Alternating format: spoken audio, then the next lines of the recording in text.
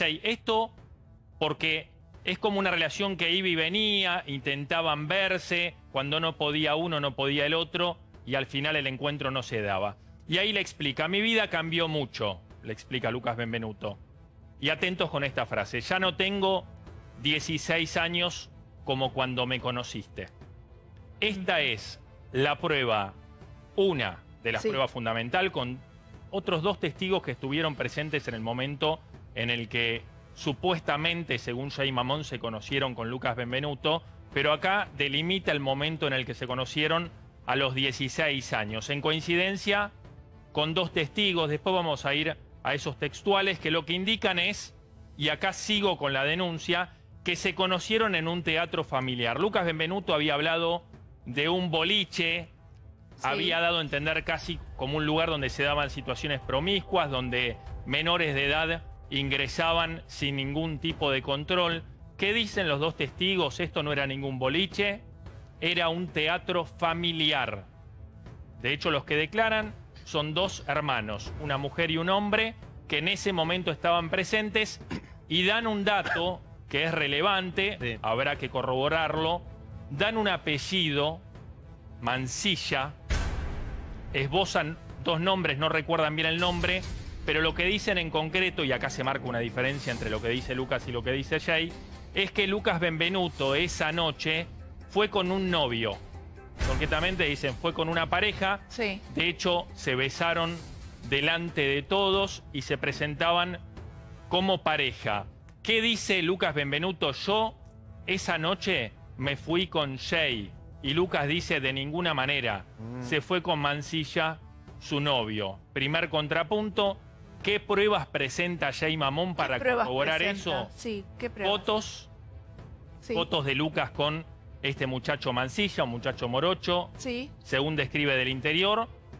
Eh, y además el testimonio de dos testigos, estos que les dije, que han presenciado esa situación. Dice, lo con- se conocieron esa noche, pero Lucas Benvenuto dice que no, que se habían conocido antes. Antes de esa noche. Bueno, eh, vamos con el próximo chat. Otro chat, mira cómo cambia. Luquitas Benvenuto, agendado ahora por Jay Mamón de 2015. Dice, empiezo por lo que dice Jay Mamón. ¿Por qué desapareciste again, against? Sí, bien a lo Jay Mamón, ¿no? Que, que juega con, con las palabras. Me alegra un montón tu crecimiento, eso obvio. Y Lucas le dice, vos tampoco me buscás. Gracias, bonito. Todo el tiempo como un coqueteo entre los dos, cuando no puede uno, no puede el otro, pero un vínculo que continúa en el tiempo. Recordemos 2016. De nada, le dice Jay Mamón. Sí, sí, pasa que cambiás el teléfono. Y tampoco conservás mi número, le dice Jay Mamón. Eso quiere decir también que por ahí no te, impor- no te importe conservarlo, ¿entendés? Y una carita de triste. Le contesta Lucas Benvenuto, tengo este celular hace un mes, Jay. El anterior número se me rompió el celular y perdí todo. Y, Luke, y Jay le responde, bueno, no te enojes. No me enojo, belleza. A ver, eh, dos elementos para rescatar de esto. Sí. Tema celular se me rompió.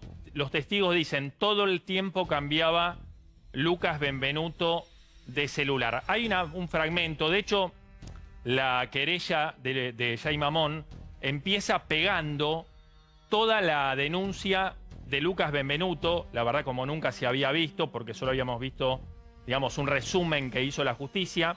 Está transcripta completa la denuncia Hecha de Lucas 2020, Benvenuto. sí. Y abajo, marcando como esas referencias que se hacen en los libros, punto uno, dos, eh, Jay Mamón, a través de su abogado, va refutando uno a uno los puntos. Y Una de las los cuestiones. puntos, o sea, cada punto está marcado donde Sí. él dice que no, como no, coin- Lo va a re- coin- no sé si se puede coincide tomar. con lo que él dice. Mirá, así está, ¿ves? Ahí, ¿Será que todavía no te, no te lo tomaron? Está Te lo tomaron. Ahí, Ahí. está. ¿ves? Lo de arriba, que está en una letra más grande, es la denuncia de Lucas Benvenuto. La parte de abajo Léelo, Diego. Uno, por ejemplo, lo leo, punto uno, donde eh, Lucas Benvenuto dice que se conocieron meses antes de que él cumpliera los 15 años. Lo que dice Jay Mamón es, esto es completamente falso. según prueba documental, fotográfica, capturas de pantalla y audios que se acompañan, así como surge de lo expuesto por los testigos cuyas manifestaciones ante notario público, porque cada uno de los siete testigos declaró ante escribano público, se incorporan también al presente, resulta evidente que no era esta la edad de Lucas Benvenuto y cita textual, recuerdo con certeza que Lucas tenía más de 16 años, cita un testigo. La relación comenzó mucho después, dice el testigo, cuando Lucas estaba a días de cumplir los 17 años. Es decir, lo que dice Jay Mamón, y está corroborado por los testigos que él presenta, por los testigos de parte, es que se conocieron ese 29 de abril de 2009, pero que ni siquiera ahí empezaron a salir. Que eso ocurriría tiempo después, porque de hecho esto lo que hace es cimentar esta versión de los testigos y de Jay Mamón de que esa noche él fue con un tal Mancilla, que Lucas estaba en pareja. Ahora, ¿qué dice Lucas? Porque me parece bien hacer ese ejercicio de ambas versiones, porque es en definitiva Sí. lo que va a suceder en el tribunal.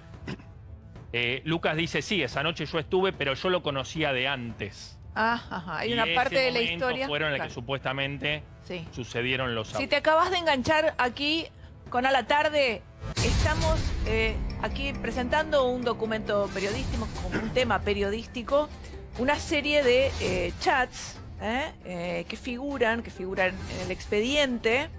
Eh, y que se habría presentado toda esta prueba en la justicia hoy Se a la presentó, mañana. María, Se presentó Se presentó. se presentó en la justicia esta mañana, que es ni más ni menos que una contradenuncia que hace Jay Mamón para defenderse de la denuncia hecha en 2020 por Lucas Benvenuto. Estos chats quiere demostrar eso eh, Jay Mamón y seguimos. Sí, Insisto que lo tiene agendado, había cambiado como lo tenía agendado. Luquitas Benvenuto, ¿qué dice Jay Mamón? Porque claro, lo- eh, esto venía de que Lucas decía que lo veía en televisión. Los mediodías. que eso lo hacía recordarlo. Bueno, flaco, le dice Jay Mamón, pero vos te querés olvidar? Yo no, refiriéndose a la relación. Lucas responde, la persona que amaste mucho, que no está y de repente lo ves hasta en la sopa, risas porque lo veía en televisión, Sí. es raro. Es una estaca en el corazón. Ja, ja, ja. Y veámonos, le dice Jay Mamón, en vez de extrañarnos. sí. Quería dejar de extrañarte, le contesta Lucas. Ahora yo te digo, bueno, él le responde eso, como diciendo no tengo más- nada más que decir. Bueno, esto es como una risa eh, nerviosa. Solo los findes podés. Ponele más adelante, ¿no? Todo el tiempo en los distintos